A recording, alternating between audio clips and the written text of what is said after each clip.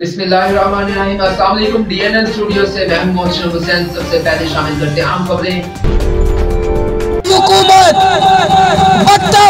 और माड़ा बलोचिस्तान हक तहरीक के बानी मौलाना हिदायतुररहमान का और माड़ा पहुँचने पर कारकुनान का और और माड़ा ज़ीरो पॉइंट पर वालहाना इस्तकबाल। मौलाना हिदायतुररहमान को रैली की शक्ल में और माड़ा सिटी लाया गया। रैली मुख्तलिफ़ शाहराहों से गश्त करती हुई न्यू अंजमन माही गिरान और माड़ा के ऑफ़िस में अख्ताम पजीर हुई। रैली के शुरा से खिताब करते हुए हक तो तहरीक के बानी मौलाना हिदायत ने कहा हक दो तहरीक का धरना बत्तीस रोज जारी रहा। वज़ीर अला बलोचिस्तान ने हक दो तहरीक के कुछ मुतालबात के हल के लिए वज़ीर अला बलोचिस्तान ने हक दो तहरीक के कुछ मुतालबात के लिए वक्त दिया है। अगर एक महीने तक हमारे मुतालबात मंजूर नहीं हुए तो हम ग्वादर और कोयटा, अगर एक माह तक हमारे मुतालबात मंजूर नहीं हुए तो हम ग्वादर टू कोयटा पैदल मार्च करेंगे। और इस मार्च में हमारे साथ एक लाख नहीं, दो लाख नहीं, बलोचिस्तान से दस लाख लोग इस मार्च में शिरकत करेंगे। आखिर में न्यू अंजमन, माहीगिरान और माड़ा के सदर बंडी शंबक ने मौलाना हिदायतुररहमान को और माड़ा आमद के मौका पर बलोची शाल पहनाया। Report Munir Ahmed D N N news Gwadar.